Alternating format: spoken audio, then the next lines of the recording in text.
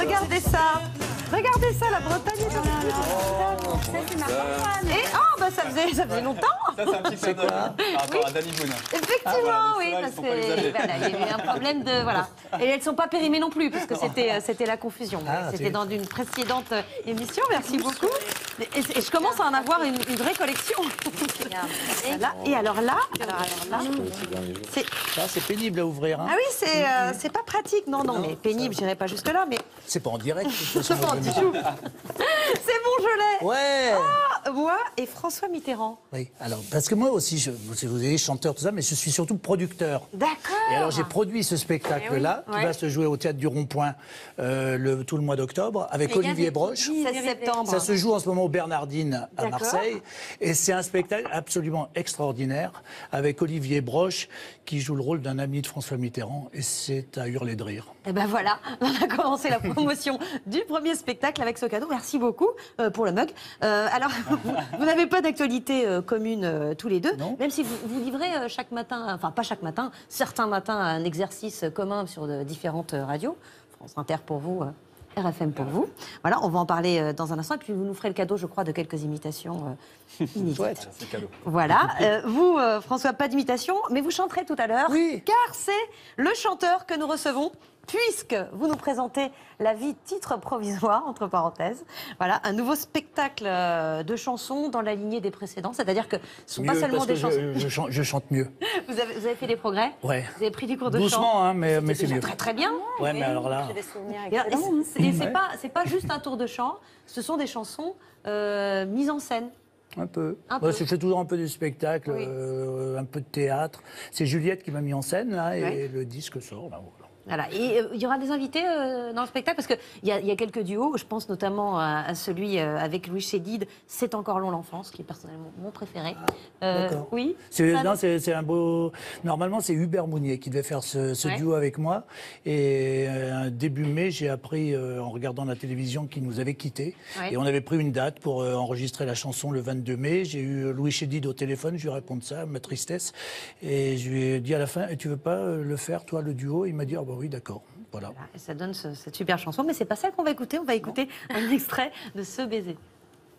Ce doux baiser que j'ai gardé au bout des lèvres, au bout du cœur, ne m'a jamais, jamais quitté. J'en fus l'unique possesseur. J'ai peur qu'il manque à vos années, ultime et cependant ardente. Voulez-vous le récupérer? Ici, tout affaire cessante. Direct, non.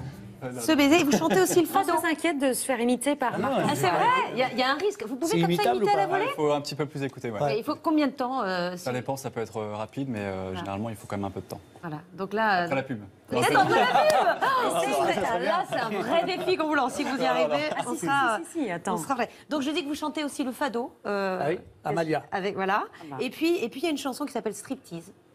Un, un titre qui vous va comme un gant, si je puis dire, car vous n'hésitez pas euh, à vous dénuder à l'occasion. Je me souviens de, de la couverture. Voilà. Ouais. Regardez, bon, c'est pas totalement, totalement nu, Quand même un peu. mais euh, mais faut y aller quand même. J'ai hein, gardé les chaussettes, ouais. ouais. Ouais, c'est ça le chapeau.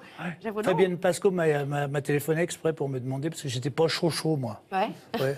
Surtout, c'est, c'est mon épouse qui n'était pas tellement d'accord. Bah oui, forcément. Mais quand je lui ai dit que je gardais les chaussures et le chapeau, elle dit, Ah bah elle a été rassurée. Mais surtout L'honneur est pas- sauf, là, vraiment. hein. C'était pas totalement une première, hein, puisqu'on se souvient, on se souvient d'une Non, chronique, toutes les archives. d'une chronique de France Inter dans laquelle vous rendiez hommage aux danseuses du Crazy Horse. Ça vous dit Ah quelque ah chose. Bah, On a les archives, aussi, évidemment. Nouveaux responsables politiques doivent affronter un premier grand conflit social qu'ils n'avaient pas prévu. Les danseuses nues du Crazy Horse demandent une augmentation de salaire et que soit prise en compte la particularité de leur travail, notamment de devoir se présenter nues en public. En solidarité avec les filles du Crazy, j'ai décidé de faire ma première chronique du mandat Hollande entièrement nue. Et je me souviens, oui, Patrick Patrick va avait, devoir le faire euh, avant la Ouais, fin. je- je- non, mais et Patrick avait bien signalé. Et les auditeurs, euh, précipitez-vous sur la vidéo. Parce qu'on y voit Mais il y a François. plein de moments où je suis habillé. hein. C'est vrai, Ah ouais, ouais. c'est vrai, ça Il y a toute une partie de ma carrière où, que je fais habillé. Oui, C'est un choix. mais aussi on peut vous voir nu. euh, voilà. ce qui est, euh, Dans il y a toute loges. une palette de possibilités. C'est plus sur Internet, ouais. c'est pas mal. Là, ça déclenche évidemment le rire, mais c'est pas forcément l'objectif dans vos chroniques sur France Inter. Là, oui. Là, oui, évidemment, l'effet comique, il est immédiat, mais c'est pas toujours le- Non, des, fois, je réussis pas. Non, à être drôle. vous cherchez pas toujours à être Non, pas drôle. toujours, mais il faut dire que l'actualité est compliquée. Puis en fait, c'est pas, c'est pas, je, veux, je fais ce que je veux. Il y a de la poésie, J'ai une a- grande liberté sur France Inter. Euh, Je ne présente mon billet à personne avant de le dire. Euh, J'essaie de surprendre euh, Patrick. Patrick, oui. Et puis euh, voilà. Non, mais vous êtes tantôt philosophe, tantôt poète. philosophe, non. On vous, on, on vous présente maintenant comme Je un chroniqueur Mo- moraliste. Moraliste plus Voilà. que philosophe, on peut le dire comme ça. Oui, moraliste. Pas- pas moralisateur. Non, moraliste, exactement, moraliste, moraliste. moraliste. Ça va. Alors, vous, vous cherchez le rire tout le temps. hein. Tout le temps. Oui. c'est bien aussi. Ah, moraliste, c'est bien ça comme définition. Et l'une des chroniques là depuis cette rentrée qui a beaucoup fait réagir, c'est celle où faussement candide, euh, vous vous étonniez de la démission d'Emmanuel Macron sur le thème Il a un si bon bilan, pourquoi partir quand tout va mieux? On regarde. Son bilan personnel à la tête de Bercy est tout à fait magnifique, partout, dans tous les domaines économiques. C'est réussite sur réussite, c'est une suite ininterrompue de victoires, de prouesses, de performances. Un exemple. Euh, rien ne me vient à l'esprit pour l'instant parce qu'il y a trop de choses. Sa candidature à la présidence de la République, certes, est crédible, mais imaginez que dans les jours qui viennent, Omar Sy ou Yannick Noah ou Michel Simès annoncent leur candidature. Ne serait-ce pas une pierre dans son jardin? Ce sont également des personnalités aimées des Français et bien faites de leur personne. Enfin, moi, je, je, je comprends pas. Je, je comprends rien. Vous l'avez beaucoup, beaucoup fait réagir. Emmanuel Macron, c'est une des nouvelles voix que vous avez euh, dû travailler. Oui. Euh, Ah, c'était obligatoire. Euh, ouais, parce qu'en plus, bah, j'ai essayé de m'orienter un petit peu vers la politique, puisqu'on arrive au présidentiel.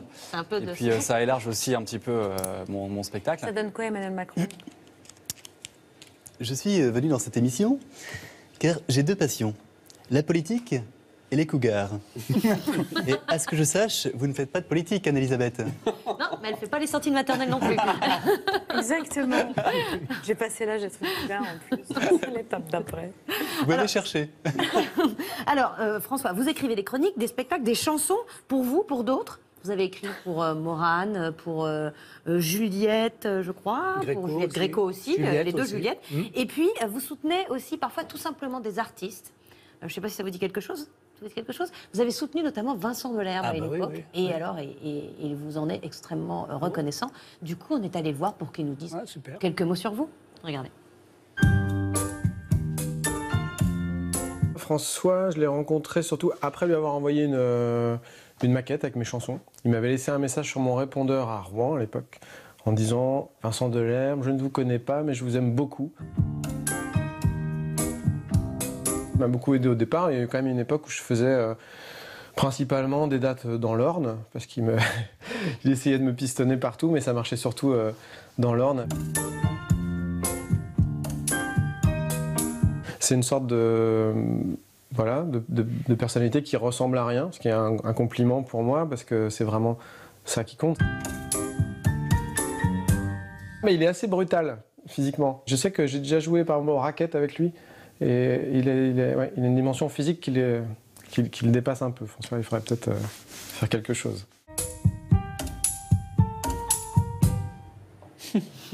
Qu'est-ce que ça veut dire, dimension physique qui vous dépasse? Ah, J'ai dû jouer au ping-pong avec lui. D'accord. violemment. Ouais, oui. violemment, alors je sais pas. Et vous, il y a quelqu'un qui a cru en vous comme ça avant les autres? Personne, jamais. si, plein de gens. Si, si, plein de gens. Euh, je sais pas, quand j'ai passé le, euh, quand j'ai j'ai passé le concours de la rue Blanche, euh, Brigitte Jacques, qui était metteur en scène, euh, a aimé ce que j'avais fait. Ensuite, Jean-Michel Ribes a été extrêmement. euh, Oui. euh, Jérôme Deschamps, Macha Makeyev ont été extrêmement euh, aussi. euh, J'étais inconnu quand je les ai rencontrés et, et ils ont cru en moi, oui. En tant que comédien, en tant que chanteur, vous avez commencé Comme à chanteur, non, là, personne. Là même, euh, quand j'ai commencé, je me souviens, j'avais un copain suisse qui est venu et qui m'a dit François, je crois que ça serait mieux que tu le fasses pas. Hmm. Il m'a vraiment euh, développé ça assez longuement toute la soirée. C'est horrible. Et je me suis dit, oh, non, quand même, je vais le faire. Oui, alors bon, il faut dire quand même que c'est pas une passion euh, récente. euh, la chanson, euh, pour vous, François, vous faites souvent des, des chroniques sur Inter qui ont un trait aux chanteurs qui vous admirez. Et vous chantez vous-même depuis longtemps. On a retrouvé un document qui date d'il y a 30 ans, 88, chez Frédéric Mitterrand. vous êtes aux côtés d'un autre comédien de la troupe. Jean-Marc Billour. Avec Jean-Marc Biour, la, comédien de la troupe des Champs Macaïef. Voilà, on regarde. Bel enfant, où vas-tu dans la campagne? Bel enfant, où vas-tu dans la forêt? Je m'en vais cueillir des fleurs sauvages. Je m'en vais ramasser le buquet. Bel enfant, méfie-toi de la campagne. Bel enfant, méfie-toi de la forêt. Voilà, vous avez une belle voix de basse et à côté Jean-Marc Billard qui Ouais. fait contralto à peu C'est près. pour rire, hein. Et- Oui, non. On voit que vous avez progressé quand même pour le coup. Ouais, là, ouais, là, un il y, a- peu. il y a une vraie. Et alors surtout, euh, mon oncle Marcel m'avait dit, je savais pas que tu savais jouer de la guitare. Et moi non plus. La pro totale. On va, on va accueillir Mathieu pour le débrief? Allez. C'est déjà l'heure du débrief. Ah.